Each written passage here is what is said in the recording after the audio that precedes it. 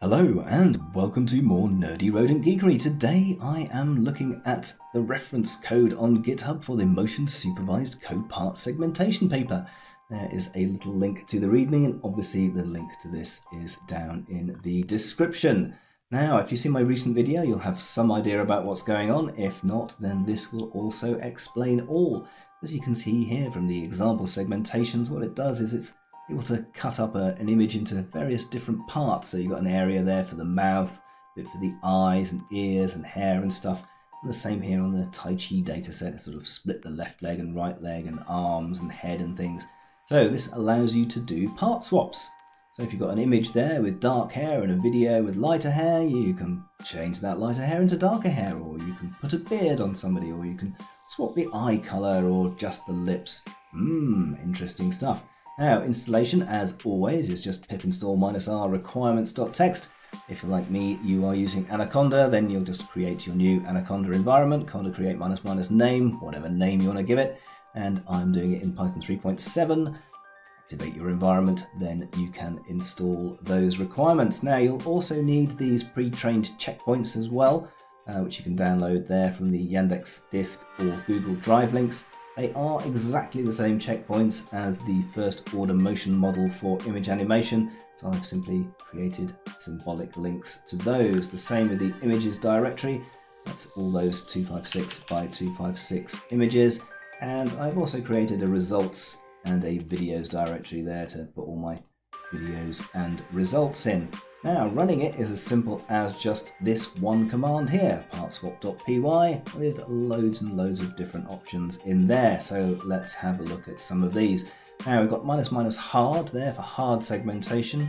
Uh, you probably won't want to use it, have a look, uh, depends what you want your video to come out like.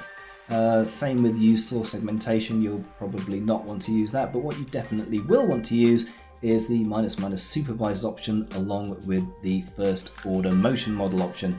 Now to run this you will also need to slam that command in there so you'll git clone into your face parsing so you'll get a face parsing directory there with all that stuff to detect faces. Now if you don't do it supervised uh, like for example it's not possible on the Tai Chi dataset because it's not a face um, then you will get some interesting results. So for example, I tried this video here. There's a woman walking, there is the original video. And then I used a static image of a suit up here, in here. We've got some suits. There's a suit, there's a chap in a suit. And you mix those together, so eventually you get a walking suit. Yeah, interesting. So that's that's quite good, uh, but it's much, much better with the faces, uh, primarily because it can do the face parsing in there. So let's have a look at this command and see what's going on. Got rather a long command in here, so we'll pop that down there, and let's, let's see what all these different bits are. So we've got the config in there, those, those are the configs that it comes with. Now, you can use the Tai Chi with the Tai Chi dataset. Uh, for the Vox one, you will have to use the 10 segments. The 5 segments and 15 segments are there just as examples and you'll have to train your own model if you want to use those. Target video, as already mentioned, the same as a driving video in your first order motion model for image animation and the source images we've been through. Checkpoints, those are those checkpoints. Now this swap index, what is going on here? Okay, well, I'll just let this run because that will take about 40 seconds to go through. And let's go through these various indexes. So you can swap, as mentioned, any of those different segments, and they seem to roughly line up to these numbers. So zero is the background. Uh, if you want to do the facial skin or the beard, that's a one. Uh, you've also got eyebrows, eyes, left and right ear.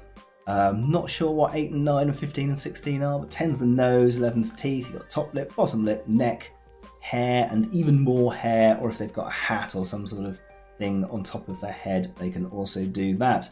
Um, now, another thing I played with was the last line in that uh, part swap. Uh, added, I just added quality 10 in there to make the images a little more crisp.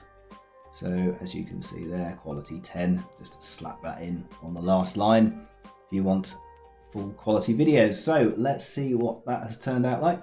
So we've got an output there, and this was uh, a plant man with a beard. So here's the original plant man video. There he is, so called because he's got some plants hanging on his face there. He turns. Unfortunately, uh, the face data set often isn't very good with turns, but hey, and then he turns back again. And then images, we've got beard. There we go, a rather fantastic beard. So if you mix those two together, what do you get? You get a man with a rather fantastic looking beard. Look at that. Yeah, and the, even the plants have changed into beard as well. So that's that's quite cool. Yeah, that's quite cool. So let's let's do a mixy matchy one as well. Here's a here's a great big long command we can do. Again, I will leave that running. So this is swapping uh, smile green screen with a picture of Ronald Reagan. So let's have a look at that green screen. So there she is smiling. This one's a bit quicker to run through.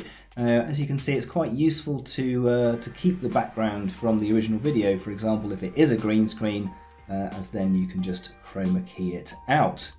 So we've got a few different parts in here and let's have a look at what happens there. So as you can see there, she's got her original nose, her original hair and her original lips and everything else has been swapped over. So we get a rather luscious looking Ronald Reagan there. Fantastic stuff. Anyway, that is about it for me. Uh, do enjoy your motion supervised copart segmentation. Rodent out.